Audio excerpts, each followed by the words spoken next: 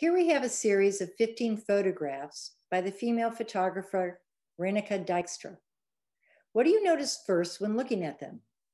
That they're all female portraits? That they portray individuals at every age? That all the subjects sit on chairs? Dijkstra offers viewers an unadorned look at her sitters. There is nothing in her photographs to distract you, the viewer, from looking at the subject closely and intensely.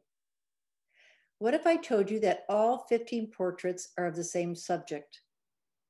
This is Almerisa.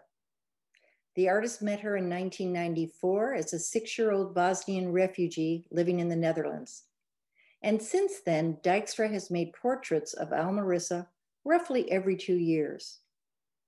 The portraits present a visual archive of Almerisa's physical and emotional migration from childhood to puberty to early adulthood.